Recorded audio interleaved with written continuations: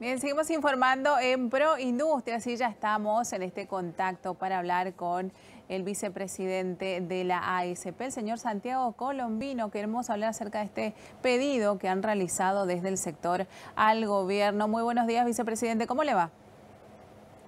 Buenos días, ¿cómo estás Laura? Un placer estar contigo esta mañana. Igualmente, el placer es mío como siempre.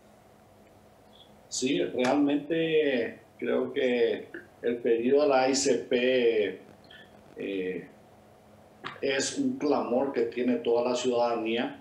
Eh, necesitamos volver a trabajar el lunes, al final de esta semana. Eh, necesitamos que los comercios se vuelvan a abrir y realmente con todo el esfuerzo que ha hecho la asociación y todos los miembros en los cuidados sanitarios e intentar dar seguridad a los clientes, estamos seguros que lo podemos hacer con un riesgo extremadamente pequeño para nuestros funcionarios y los clientes que nos visitan. Bueno, eh, siguen trabajando igualmente en los talleres, como siempre, cuidando todas las medidas sanitarias, en el sentido, por ejemplo, hablando de los talleres de, eh, confeccionistas distribuidos en, todo el país. Eh, este pedido que lo hacen también los diferentes gremios ya desde hace unas semanas con todo este conflicto político, económico y sobre todo sanitario, mantiene la postura de simplemente seguir trabajando. Así es, eh, lo hay que entender, se, están jugando varias, varias carreras al mismo tiempo. Por un lado, eh, nosotros entendemos que el decreto nos permite trabajar desde el punto de vista industrial, pero la industria eh, puede seguir trabajando hasta que tenga un motor que la estire. En este sentido, si no tenés venta, no existe la forma de que pueda ser mantenida abierta durante mucho tiempo. En consecuencia, necesitamos la parte comercial. Por otro lado, también en el mismo escrito y lo mismo que pedimos a todos un poco de patriotismo y así puedan tener una, un control de gastos, así como también las dietas que se han aumentado puedan regresar a, al estado pasado. No, no puede ser que en este tipo de circunstancias estén aumentando los sueldos.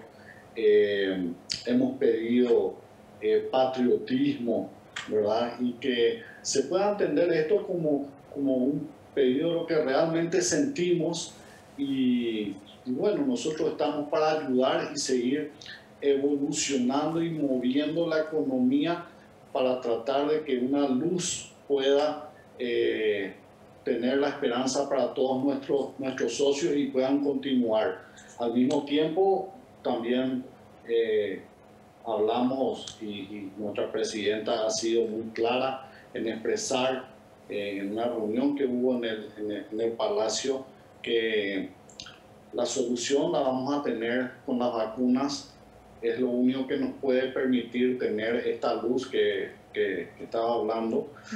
Y definitivamente eh, pensar en, en, lo que dijo el ministro, que final de año vamos a tener 30% de nuestra población vacunada, creo que nos estamos quedando muy rezagados en lo que es recuperación económica y con 30% no vamos a poder tener un 2022 con mejores condiciones. Vamos a continuar más o menos igual a lo que estamos. Por lo tanto, creo que se necesita un cambio de velocidad con respecto al tema de las vacunas y así poder evolucionar positivamente. De todas maneras, la postura firme que mantienen los gremios ¿no? de la producción, los, gremios industriales, los negocios de reabrir este 5 eh, es más que clara y bueno, en base a eso se dio también como un ok por parte del gobierno para que sí se reabra, pero claro, aplicando eh, siempre todas las medidas sanitarias. Hacía falta, digamos, mantenerse firme en esta postura también. Sí, nosotros estamos muy decididos a abrir el 5 eh, por supuesto, eh, dependemos también de que los shopping, porque gran parte de nuestros, de nuestros socios eh, o miembros están con comercios dentro de centros comerciales. Por consecuencia, dependemos de que los shopping abran. Abren los shopping y nosotros vamos a abrir también, por supuesto. De hecho, todos nuestros socios que tienen negocios a la calle están decididos a abrir sin ningún tipo de, de, cuestionamiento y ningún tipo de problema. Bueno, vamos a ver qué pasa entonces desde el 5 este, de abril, eh, cuál es eh, realmente eh, bueno, qué es realmente la situación que, se va a dar, digamos, a partir de, ese día, porque lo bueno es que están trabajando y que mantienen la postura firme por parte de todos los sectores, unidos. La unión hace la fuerza, así que de todas maneras esperemos que se salga de esta situación, que haya respuestas también más firmes por parte del gobierno.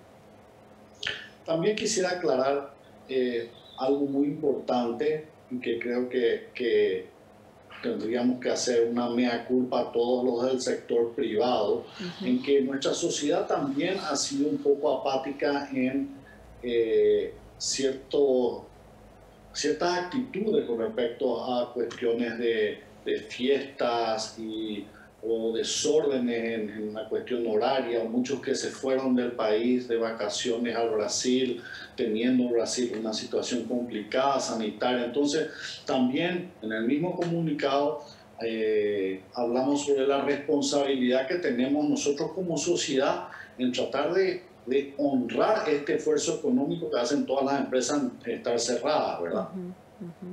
Así es. Bueno, vicepresidente, le agradecemos como siempre desde aquí, desde Canal Pro, eh, por la comunicación, por mantenernos informados, por esta apertura que tiene siempre desde la ICP. Y bueno, vamos a seguir hablando más adelante para saber cómo, cómo sigue todo, ¿sí?